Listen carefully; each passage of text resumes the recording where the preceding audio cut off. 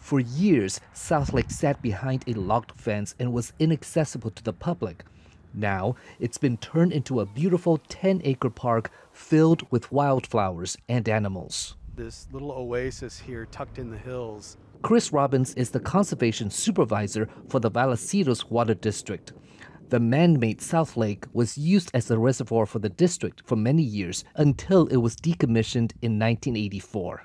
It's been uh, fenced off for years. And so there's a vast quantity of wildlife in the area. We just had a, a vulture fly over us. In 2005, San Marcos entered into an agreement with the Water District to turn the lake into a park. The city had some big plans with their redevelopment funds to make a boat dock and make some real extensive amenities.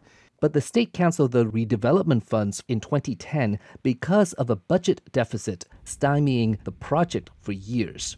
The park finally opened last month. This is first phase of it, so there is uh, more to come at some point in time. Rebecca Jones is the mayor of San Marcos. She says the park feels more like a nature preserve than a city park. There's a lot of wildlife uh, that naturally occurs, and we do like to keep that as uh, natural as possible. And you know, there you can find a lot of different animals out here. Uh, there are lots of birds, roadrunners, probably geese that will end up uh, being in the in the lake, and lots of fish. Because of the loss of the funding, the city has to scale back some of its plans, such as a fishing dog. But fishermen here don't seem to mind. Patrick Hanna started fishing there when the park opened. He heard about the spot from a friend who lives in the area. I've caught one or two every time I've came. He thinks the park could use some amenities, but it's still a great place to bring the family.